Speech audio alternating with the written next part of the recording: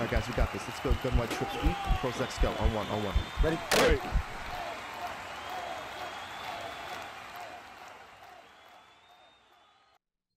What's going on everyone? AntCap24 here from Huddle.gg. In today's video, we're going to talk about the switch concept from trip sets and how it's something that I feel that you should add to your scheme right away. Now, if this is the first time checking out our channel, please consider hitting that subscribe button. Also hit that bell notification to make sure that you never miss any of our uploads.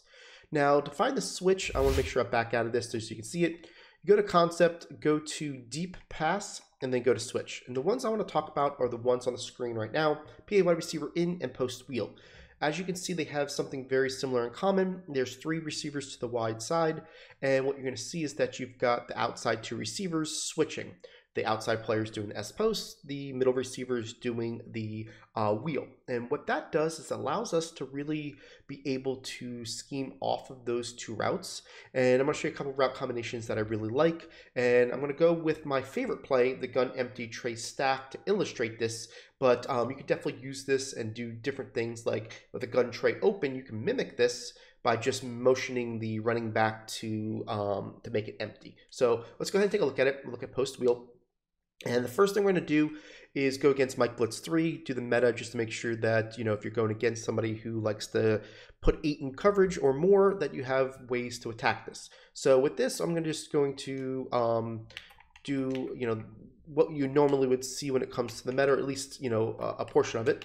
And I'm going to do is put this guy on a hook curl to the right. Okay, what that's going to do basically is, is he's going to cover the middle of the field to the right, and we're going to have the ability to kind of attack um, in different places based upon this route combination.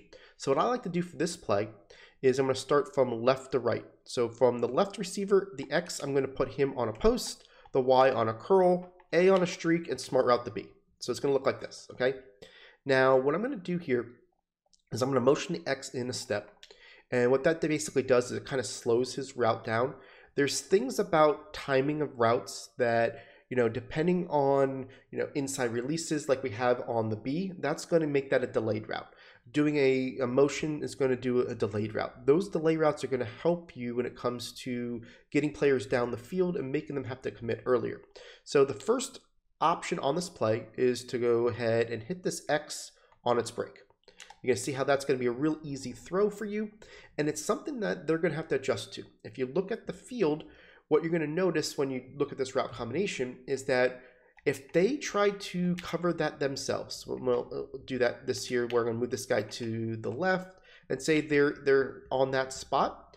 What's going to end up happening is that they're going to give up the seam right away to the tight end if if you want to take it. Okay. Um, what you'll see here is A is on a streak. Um, and we'll just go through the, the progressions. Say you see that they're going that way, you throw this ball really quickly and you're good to go, right? So that's going to really make it tough for them. Say they decide that they want to man that player up, right? So they man that player up. Uh, you know, just I'm looking at adjustments maybe I would do just to make sure that I'm in a good spot here. I, I man that player up. I put that guy in hook curl. I put this X on a hard flat. And this way, I'm, I'm, I'm yes, I'm giving away the hard flat to the right, but he's not showing me that he's hitting that yet. So we'll do that like this. We'll do our same exact setup. And what you're going to see here is now you're really going to be looking at the B receiver because the B receiver comes in and then he comes right there. And um, whether they put the player on a hard flat, man that guy up, that spot's going to be open. Um, it's very, very tough for them to be able to cover this post on the left. I'll show you right here, right here. This post on the left, you know, on the break, unless they do it manually, and this post coming here on the S post right here on this side and be able to do it, right? Now you can see that we do ha also have this player over here if they're not putting that hard flat because what we're doing is we're pushing all the other zones up. We can definitely throw that, you know, spot throw it over there. But that's not something that typically I'm going to do on my progression right away unless I see that they're, they're doing it over and over again. Now the last progression on this play is actually the ability to hit the Y route. I mean, actually, yeah, the Y route on the uh, curl. And what you're going to notice here, set everything up, say they do the same type deal. Uh, we'll do this to where they're they're trying to take you know somebody away in this regard. Um, say they do it like this, right? And they're hook curling this way. they're trying to take it away. Maybe the uh, the spy is going to help them, you know, with the X. What's going to end up happening is that they still don't have somebody to cover the numbers when it comes to the curl. So, you know, we're looking at the X first, we're looking at the B. Now we're just going to fire it down to the Y, right? So that's the backbreaker to me. It's like they just are out of options. So what do they do, right? Obviously, I run the scheme. The next thing they're going to do, they're going to go to cover four show two, right? So what I'm going to do is I'm going to go to this, and I'm finding everybody this year, if they can't run um, what they're looking for, say they're at 335 wide, they can't run the, the Mike Blitz 3 meta, they're going to go to cover 4 show 2. Why? It's because it's a match coverage. Match coverages are something that for some, you know, people are kind of tough to beat if you don't know how to beat it. But the reason why I like this play so much is that same exact setup, right? So I got my, you know, everybody in the same way. They're doing their, their match coverage. I'm moving this guy in. I want you to watch the A receiver. He's going to be an easy one play score. And the thing that's that's tough for them is that they're accustomed to getting beat on the right side, on the left side, underneath, you know, all over the place that that tight end is kind of the last thing that they're worrying about because they're worrying about other options everywhere. That guy's going to get pretty easily open over the top for the one play score. So it really does well against that. Now, you know, we can go in and toggle through some of the other ones with cover two. And what I like about cover two is that it's going to get matched. Okay, what do I mean by that? The outside corner um, is going to match the wheel as it goes up the field. So what we're going to do is we're just waiting for the post to go across. And that's part of the reason why I do the motion.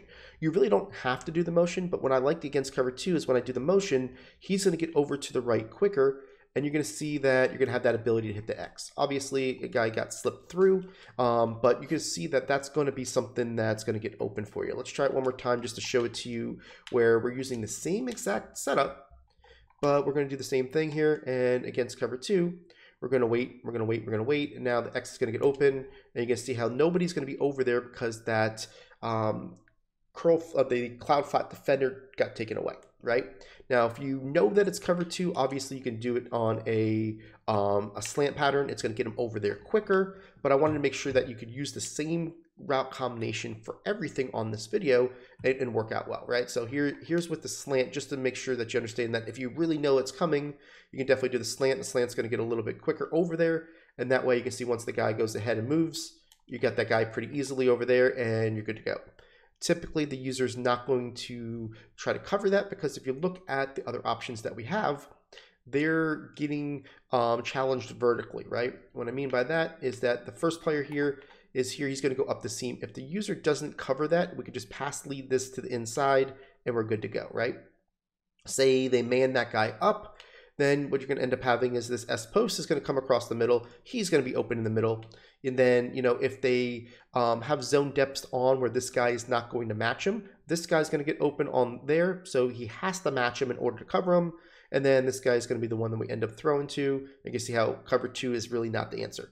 So they can't really do cover three with zone drops. They can't really do cover two with or without zone drops. Can't do cover four um, quarters match because the way that we burn them you're really in a good spot, right? Um, man coverage is probably a decent way of stopping this. If you see this where um, because of the way that it is, but I usually do a one-two um, read on the right side with man coverage, where what I'm trying to do here is I'm going to hit the X because um, you know he's got the ability to go inside, he goes up, and then he does the the break and typically, you know, you're going to have that ability to hit them on the inside. If not, the curl route is definitely something that is a, a fail-safe for pretty much any coverage when it comes to matching or man is is the the curl route. So typically speaking, um, if I didn't realize it was man and I have this play called, then I could do is here and I could just hit this guy right here, right? So it's kind of one of those deals that you've got answers for everything. So um, it's it's you know uh, becoming one of my favorite plays to run, to be honest with you. Um, and when I match, you know, put it in with all the rest of the scheme, it, it's really a, a backbreaker. So what I really wanted to do on this video is just kind of talk about the switch concept. Now, one other thing that I like to do from a route combination, if they start seeing and, and start keying on that, maybe they do it. Now we're going to change the A and we're going to put him on either a post route or a crossing route And what we're doing is we're doing a double post concept, right? So what that basically means if we do a double post is that we're making the user have to um, basically um, follow the the A to the left and then we're gonna hit the B from the backside. So um, when I do that, I'll put the Y on a streak and the X on a hitch. And this is kind of how I do it this way. And what you're gonna see is you're gonna have kind of a nice uh, one-two. Um, right now this is uh, match coverage. I'll just do Tampa 2 so you can kind of see it. But what you're gonna see is that you know, you got the X right away, and then when you got this guy, he's going to come over here. You got that easy, oh no, against Tampa 2, right? Against your cover 3 looks, what I'll do is I'll uh, see if I can get to cover 3 here, and I'll, um, let's go ahead, and let's do this, where we're going to uh, show you a little bit where they're doing it like this, where we're going to go ahead and uh, you know, hard flat this guy, hard flat this guy, you know, do, do something similar, just kind of show it to you. And what you'll notice here is that the A is going to go across, and then you're going to have the ability to hit the B as the backside. So if they follow the A, which they're going to have to, now you're going to have that guy as it comes across, and you're going to be able to hit them.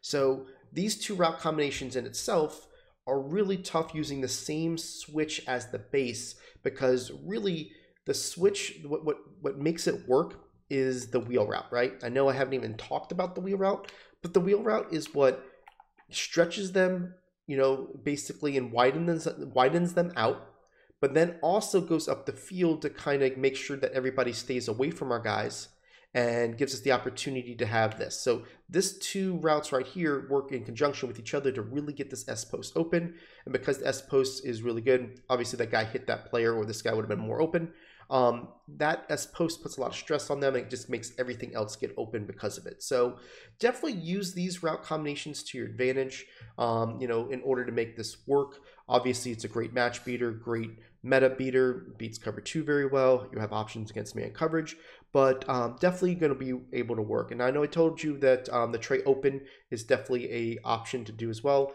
I'm just going to show you just real quick, not not really do it, just kind of show you what you would want to do with it um, in order to make it work. So here's PA read. And we're just going to go ahead and I'm just going to pick, it doesn't really matter, just so you can see what it is. You're going to want to move this guy over, you know, and move him over to the left, put him on the post, you know, and then basically on the backside, either put him on a hitch, A on a streak, and you're going to basically work in the same thing, right?